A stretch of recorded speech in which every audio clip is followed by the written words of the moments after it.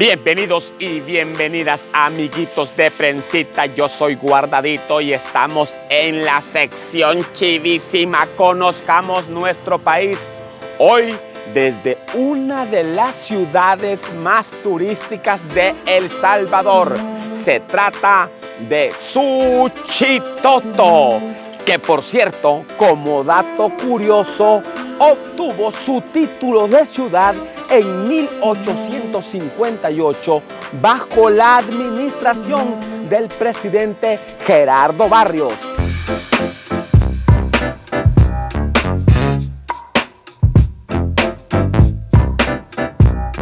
Y nos encontramos en uno de los edificios más emblemáticos de esta ciudad de Suchitoto, aquí en el departamento de Cuscatlán.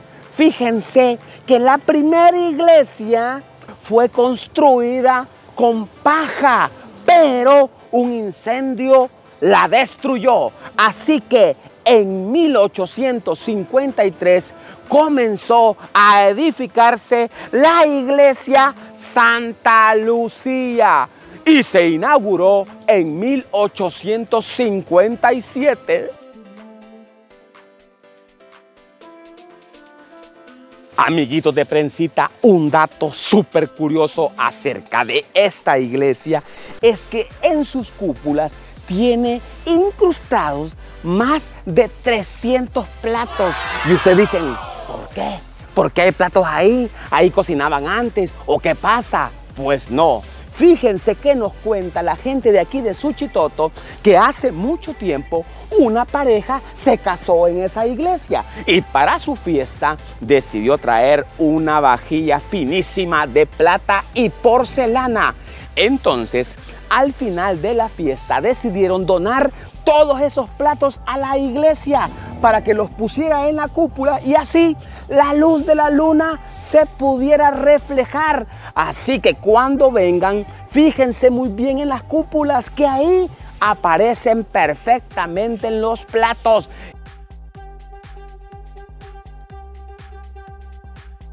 Seguimos turisteando aquí en Suchitoto, amiguitos y amiguitas. Y hoy nos encontramos desde el Museo de los Mil Platos y más. Y nos acompaña nuestra amiga Orbelina. Mire, cuéntenos por favor, ¿desde cuándo funciona este museo? El coleccionista de platos es el señor José Lino Ramos. Y él hace más de 40 años se fue para Estados Unidos. Y así fue como él empezó a coleccionar los platos, compraba, le regalaban. Entonces, teniendo este lugar, el señor, ¿verdad? El señor Lino, fue que en el 2011 puso el museo es que miren, amiguitos, aquí ustedes pueden encontrar un montón de cosas de payasos, acerca de gallos, de familias. De presidentes. De, presidentes. De la princesa Diana. De Elvis Presley. Vi también de la Guerra de las Galaxias, tienen algunos. O sea, son cosas espectaculares. Y también tenemos una colección de billetes de diferentes partes del mundo también. Muchísimas gracias por, por, tenernos aquí, Orbelina. Gracias de verdad por recibirnos. Y recuerden, amiguitos y amiguitas, visiten el Museo de los Mil Platos y más.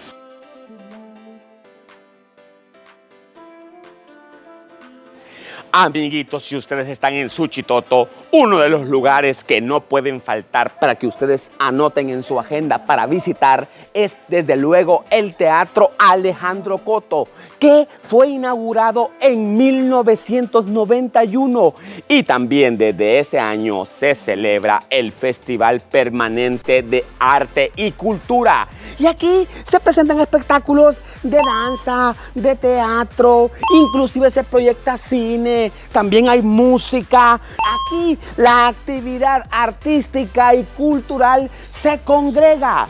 Su nombre, Alejandro Coto, pues es de un amigo pero muy cercano de esta ciudad, quien en vida hizo muchísimas cosas por la gente y por el pueblo.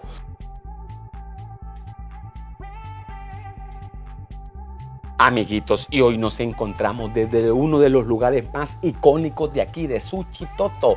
Se trata de el Museo Alejandro Coto, ¿verdad? Así es, del, ¿sí? Correcto, así es. Pero entonces, El teatro se llama Alejandro Coto.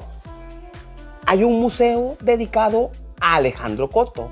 Entonces vamos a descubrir quién es este personaje que parece que tiene muchísima importancia en el desarrollo cultural, artístico y turístico de esta hermosa ciudad. ¿Quién fue Alejandro Coto? Eh, don Alejandro Coto pues, fue el primer cineasta salvadoreño que tuvimos. Él fue cineasta, actor, escritor, poeta y gestor de la cultura salvadoreña. Gracias a él, pues Suchitoto hoy es un pueblo vivo, encantador, lleno de mucha cultura y turismo. Acá él pues nos dejó muchos legados. Acá su casa es uno de tantos legados. Es categoría Casa de los Recuerdos Alejandro Coto, ya que esta pues era la casa de habitación de él.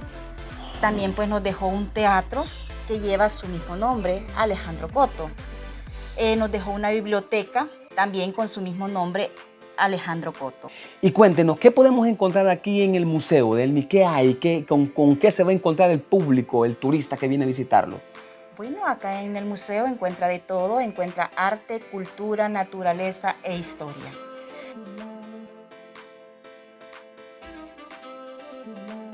Don Alejandro también en este año inauguró el escudo de acá de Suchitoto, ya que es otro de los grandes legados que él nos dejó, que gracias a él Suchitoto es el único municipio en El Salvador que tiene su propio himno, su propio escudo y su propia bandera. Mire, Delmi, o sea que aquí toda la gente que vive en Suchitoto, todos, digamos, los lugareños, si usted le, le menciona el nombre de don Alejandro, saben quién es, lo quieren saben quién es don Alejandro Coto, correcto. Don Alejandro Coto pues es un personaje muy querido acá en Suchitoto. Muy bien, muchísimas gracias, ya lo saben amiguitos. Esta es una parada obligatoria. Si ustedes están en Suchitoto, tienen que venir a ver esto porque está lleno de historia y la historia de nuestro país es muy importante, es diversa y es lindísima. Ya lo saben. Y ahora sí, amiguitos y amiguitas, ya nos vamos de este chulísimo Suchitoto, que por cierto significa pájaro flor. Suchit, flor, toto, pájaro. Hemos recorrido sus calles empedradas, la iglesia, los museos, todas las cosas chulas que hay en este lindo pueblo. Y para que ustedes puedan compartirlos con todos sus amiguitos, Recuerden que este video pueden verlo en el canal de YouTube de la Prensa Gráfica y en las redes sociales de Prensita. Nos vemos otro día desde un mágico lugar de nuestro país. Adiós.